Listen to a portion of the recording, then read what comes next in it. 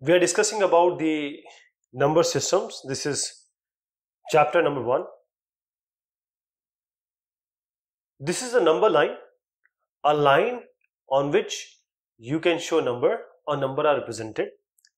So if this is a line, then we mark equidistance say from 0 we start.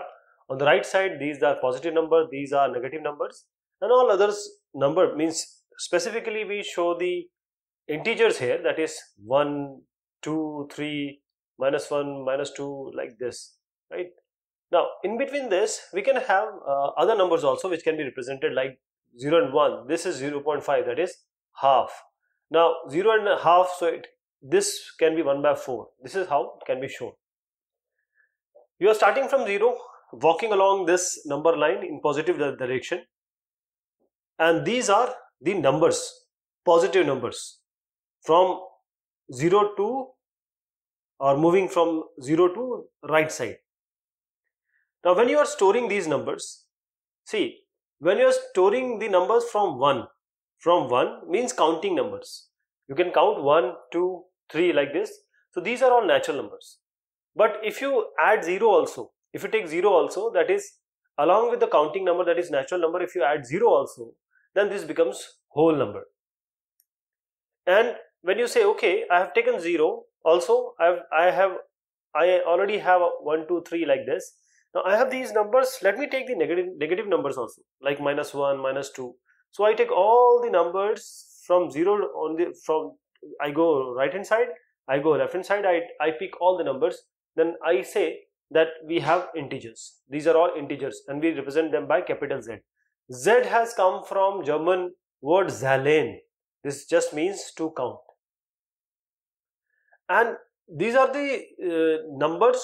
We start from natural number came to whole number. Then we we uh, there is a bigger bigger you can say set which is the integers. Now we can have more numbers. See 1 by 2 half. This is also a number. So we put this also. Half like 3 by 4 so when you put this in the bag we say that we have now reached to rational number. See 2 is a rational number. Why? Because 2 by 1 this is also a this is also a rational number because anything uh, divided by 1 is always 1 uh, always that number. So any number can be represented as p by q form and which is the rational number. But rational number is a bigger set. Inside this we have uh, integers. In inside this we have whole number and inside this we have a natural number like this. So this rational number is represented by q capital q and this q has come from ratio. Ratio. This q comes from sorry quotient. And this is rational number has come from ratio. Ratio. Rational number. Because we are representing the numbers in p by q form or those numbers which can be represented in p by q form as you see here. These are the rational numbers. And this q why we are representing it by q? Because it has come from quotient. Quotient. Now rational number let us uh, go through the definition of rational number. A number R is called a rational number if it can be represented in the form of P by Q. When P and Q are integers and Q, Q should not be equal to 0 because anything divided by 0 is undefined. You cannot divide anything by 0. You just have to notice that all the numbers in the bag which we just collected is of the form P by Q because as I, as I just said minus 25 is an integer and then minus 25 can be represented as minus 25 by 1 and this this is also a rational number. So rational number includes natural number. Rational number rational number includes whole number and rational number includes the integers. So the rational number uh, do not have any unique representation of this p by q form. See this 1 by 2 can also be said as 2 by 4 because 2 2s are 4 so this is also 1 by 2 10 by 20 is also 1 by 2 and this is 25 by 50 that is this is also 1 by 2 so there is no unique representation 1 by 4 and 2 by 4 are exactly equal but they are different numbers. So these are equivalent rational numbers. These all 1, 2, 3, 4 and many others. You know this one. These are all equivalent rational numbers because they are actually giving you half. They are going to give you half. So when we say p by q is a rational number, we represent p by q on the number line. We assume that q has not q has not to be taken as 0 because this is not defined. So if P and Q have no common factor other than 1 if P by Q is there and P and Q have no common factor between them, then we said P and Q are co-prime. This is the definition of co-prime also. So now on the number line, there are infinite, infinite fractions, numbers, points can be because it is a number line. And a line is has infinite uh, points.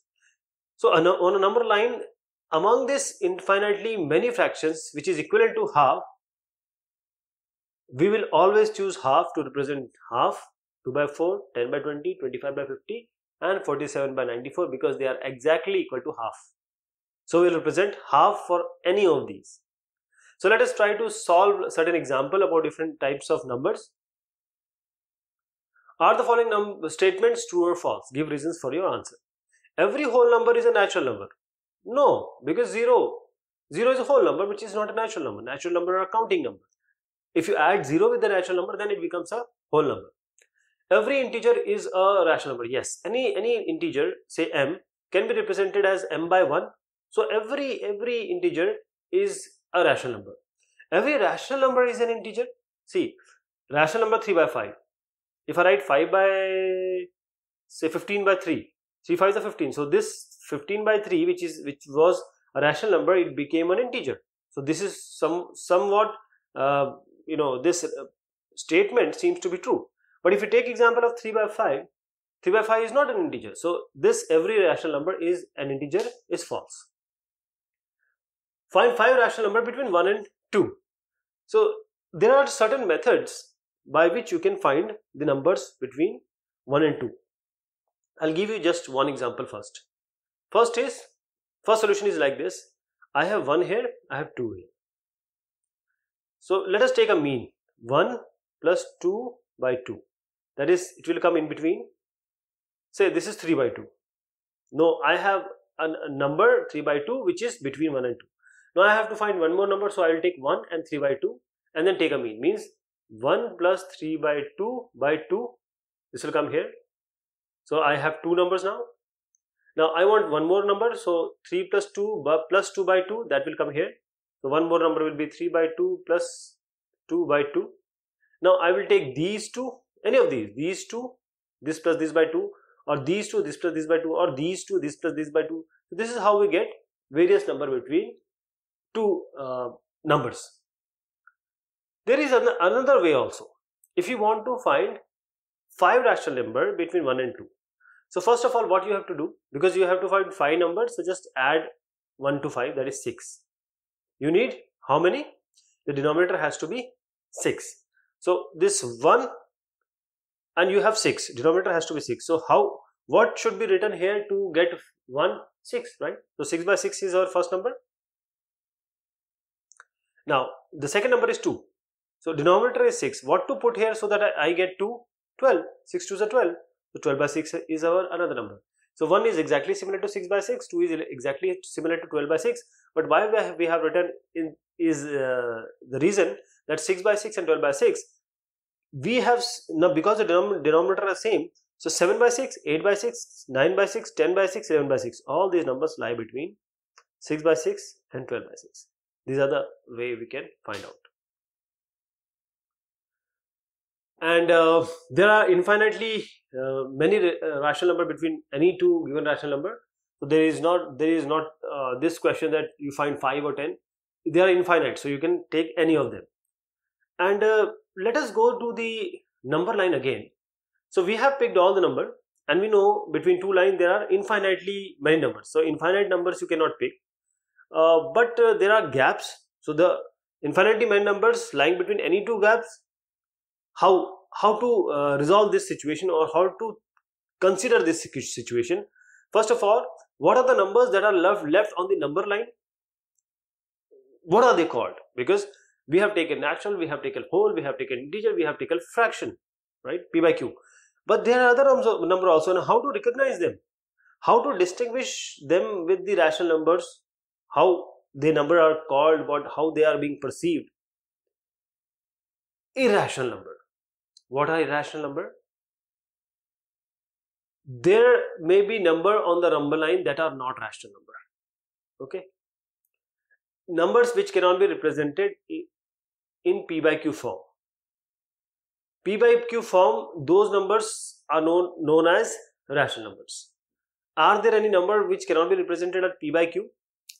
Let us uh, first talk about Pythagoras, Mr. Pythagoras. Pythagorean in Greece, these are uh, the actual followers of uh, famous mathematician and philosopher Pythagoras. He discovered that number which are not rational and he called them as irrational number because they cannot be written in the form p by q where p and q are integers. So there are many myths when he uh, proposed or discovered irrational number. In all the myths, Hipparchus, he, has a very unfortunate end. Either he discovered root 2 which is a irrational number or disclosing why this root 2 is outside the secret of Pythagorean uh, sect I'll tell you about that. We have a problem on that. So let us uh, formally discuss this irrational number. A number s is called irrational if, if it cannot be written in the p by q form where p and q are integers. So we know that there are infinitely various many rationals, various rational number. In the same way, there are infinitely irrational numbers also. So if rational numbers are infinite, irrational numbers are also infinite. See root 2, root 3, root 15, pi, all these numbers are irrational because they cannot be written in the form p by q. Uh, root is actually taking the, uh, you know, if 4 root is 2, this is actually 2 into 2 and root is the power half. So this is this can be written as 2 square to the power half, half of cancel you get 2. So this is how it is computed. Some of the rational numbers you might be familiar with because you, you might have uh, came across pi. So Pythagoreans, they proved that root 2 is irrational, right? Uh, Theodorus of Cyrene, he showed that root 3 till root 70, these, you know, these all numbers are irrational. And the proofs of irrationality of root 2, root 3, 5, we have already discussed.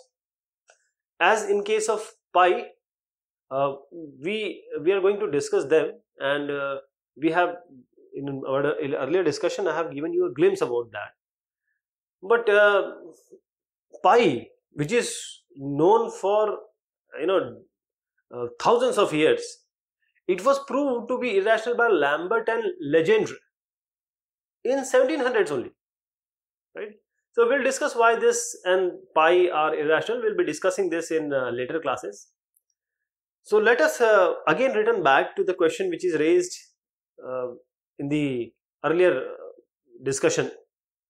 This bag is of rational number. So if we uh, now put all the rational number into this bag, will there be any number left on the number line? Because we have taken uh, natural, we have taken uh, whole, we have taken integers and then rational and then irrational also. So are there any number left? The answer is no, right? The collection of rational numbers and irrational numbers, they both are combined and if they are combined, they are called as real numbers which is denoted by capital R. So real number can be either rational or irrational. So we can easily say that every real number is represented by a unique point on the number line and also every point on the number line represent a unique real number. So why this uh, number line is called as a real number line? Have you thought about that? In 1870s, two German mathematicians, Cantor and Dedekind, they show that corresponding to every real number, there is a point on the real number line and corresponding to every point on the number line, there exists a unique real number line. So because this number line is related with real numbers, that is why we call it as a real number line.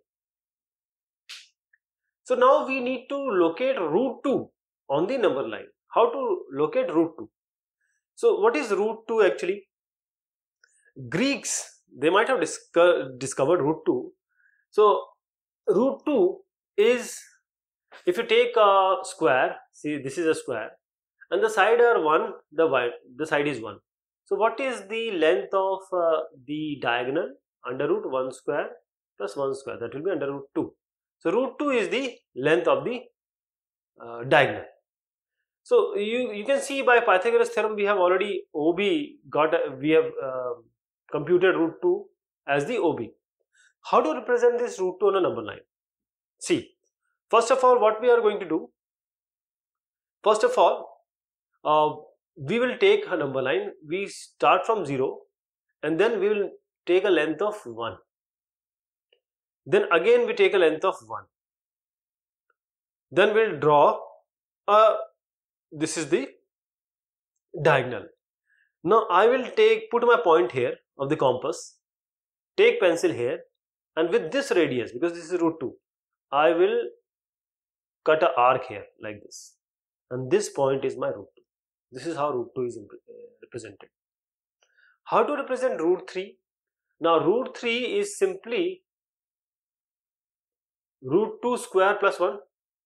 You can write like this. Root 2 square, root 2 square is 2, well, 1 is 1, so root 2 plus 1 is root 3. Now, how to represent this root 2 plus 1? So we know that we have a square, if this is 1, this is one side, and the diagonal is root 2. Now root 2, I will again make with 90 degree a line which is of length 1. So what will be this length if I join this? This is root 2 and this is 1. So root 2 square plus 1 square will, will be this line. I'll do exactly that. First of all, I will construct this dB of unit length which is perpendicular to this OB. Then again by Pythagoras theorem this root 2 square plus 1 square will be root 3 and this is my length. I'll join them and once I join them I take my compass point here, pencil here and cut arc. Wherever it intersect on the number line this is root 3. Real number and their decimal expansion. Rational and irrational number uh, we can study them in terms of uh, real numbers and their decimal expansions. We'll try to look at the decimal expansion of real number and then we also try to see if we can use this the expansion to distinguish between rationals and irrational. Is it possible? And how to visualize the representation of real numbers on the number line using their decimal expansion. Uh, because rational number is quite familiar to us, we know that p by q form is our rational number. So 10 by 3, 7 by 8, 1 by 7. Let us take these example, right?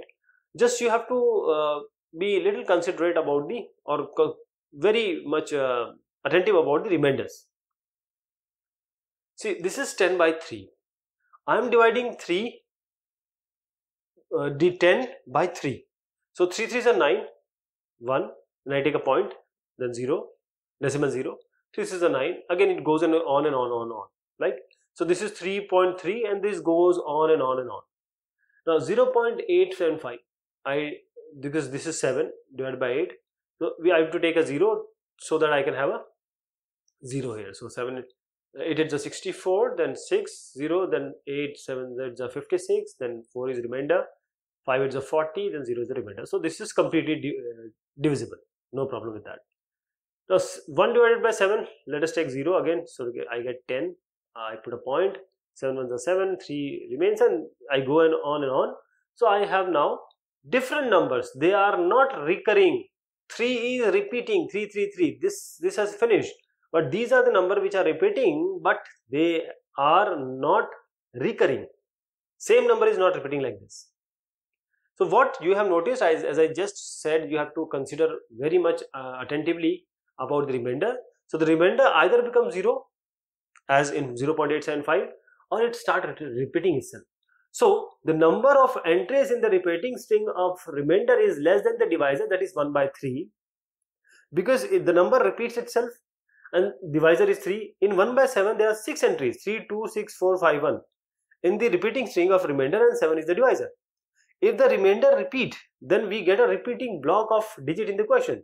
Like 1 by 3, 3 repeats in the question and 1 by 7 this repeating block is 1, 1, 4, 2, 8, 5, 7 if you do it again see one you started with one again you came back to one. So again you will have one four two eight five seven. This is repeating. So this goes on and on and on. So this is what i'm trying to tell that we have noticed that this pattern you this in this example it is true for all rational number of p by q. Either either you'll divide it either there will be same number repeating or there will not be numbers which are, which are repeating. So on division of p by q two main things has happened. Either the remainder becomes 0 or never becomes 0 it will repeat again and again.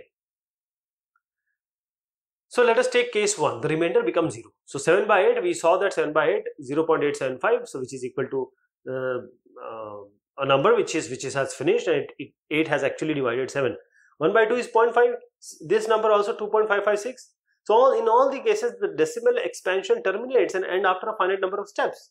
We call this kind of um, division or we call the decimal expansion of such number as terminating. Now the case 2 is the remainder never becomes 0. See 1 by 3 and 1 by 7 we have already seen the division of these.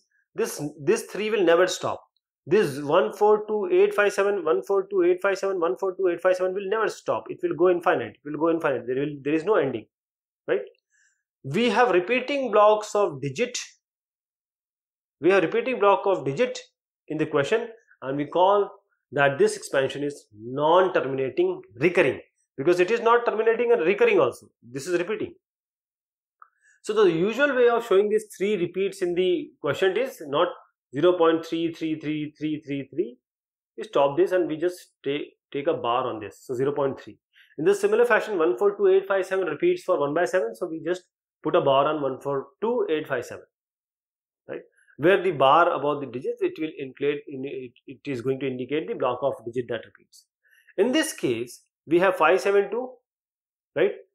And then 7270 repeats. Till the time 5 is there no problem. 7272 repeats so this is a non-terminating recurring decimal expansion so we have seen that the decimal expansion of rational number they have only two choices they are either terminating or non-terminating recurring but let us walk on the number line again. When we come across any number 3.14268, this is actually pi, whose decimal expansion is terminating, right? Or a number like this one, that is 1.272727 it is, the decimal expansion is non-terminating recurring. How can you say or what can you say about this number being rational number? Can you conclude this number as a rational number? Yes. The answer is yes. If something terminates like this, it is a rational number. If something repeats, something repeats because 1 by 7 is a rational number. Uh, 1 by 3 is a rational number, right? So these are rational number. Okay? We have to show that 3.14267 is a rational number. Or you have to say that this is in the form of p by q. I take this as divide by 0 that is 314268 because this decimal 1 2 3 4 5 6 so i have six zeros here. This is a rational number. It can be represented in p by q form. Now let us take those decimal expansion which are non-terminating recurring. That means 0 0.333 0 0.3 this is can be represented by p by q. How? See uh, we do we uh, don't know 0.3 what it is. So let us consider x equal to we, we can just say this as, as x. Now multiply both the sides by uh, 10 say 10 so what do you get this 10x and you multiply this by 10 so this becomes 3.333 now see first of all this is 3.333 so you can write it as 3 plus 0.333 but you have taken x as 0.333 so in this case you can write x in this place. So 3.333 can be written as 3 plus x. So 10x will become 3 plus x. Now take x here. This is 9x x. Is 3 by 9 so you get 1 by 3 so if 0.333 is given you can easily find out the p by q form. In the similar case you have 1.272727 is 1.27 bar and you have to express this in p by q form. So x is this right? Let us because this is repeating 27 is repeating so we have to multiply it by 100 in the previous case because only one number is repeating 333 we have we multiplied it by 10 here we have 272727 so it is multiplied means we have to multiply it because 27 is repeating we have to multiply it by 100 let us multiply this by 100 so just both sides x and this i multiply 100 here. I multiply 100 here. So 100x will be equal to 127 because 100 this point will go on the right side to 2 level is 2 uh, jump it will go. So 127.2727 but 127.277 can be written as 126 plus 1.2727 right? Because if you add this you'll get 127.27 why? Why i have done this? Because i need this again because i have taken this as x. So 126 plus x this can be written as x. Now x has to be put here. So 126 will be 100 uh, x minus x. This will be 99x x. Becomes 14 by 11 so this can be represented as p by q form. Now we have to show that 0.2353 5353 means 2 is there but 3535 is remaining. Uh, means uh, repeating.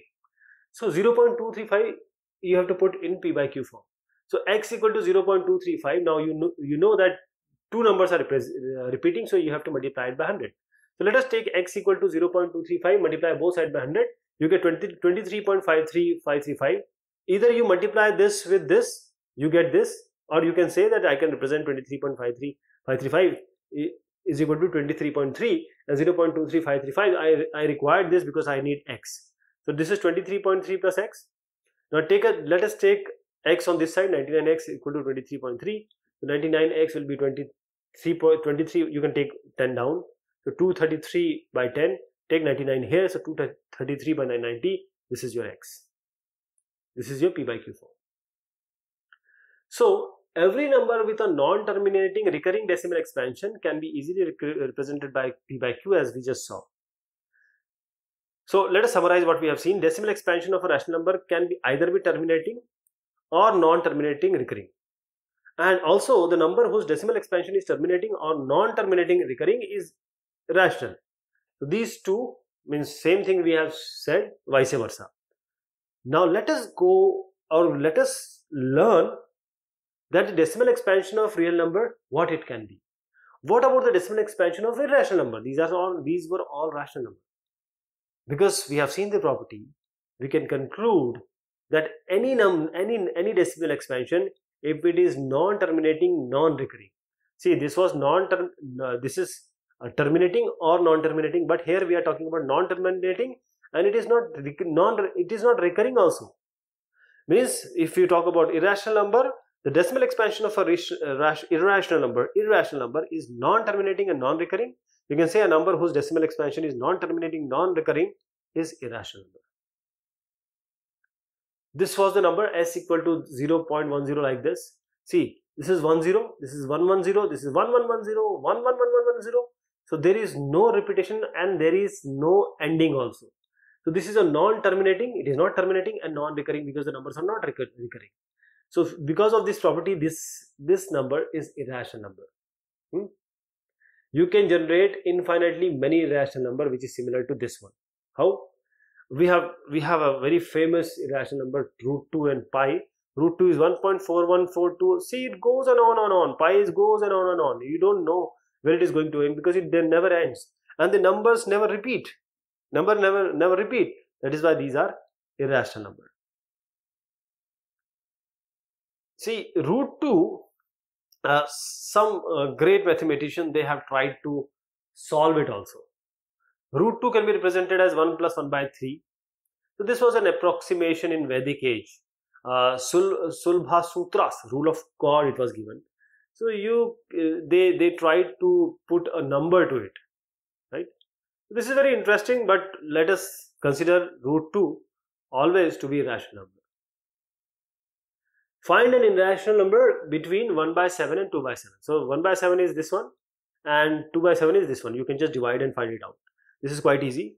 But in order to find the irrational number between these two we can find number which is non-terminating non-recurring lying between them. We just want the number should not terminate and should not recur. So you can have number of these. See 0.1 this starts from 0.14 this is 0.28 so 0.15 you take 150 1500 15000 15000 like this. You can have other number as 1500000 like this. So it can go on and on you know. So this is the first part of our discussion. We'll be taking one more. Till then thank you so much and take care of yourself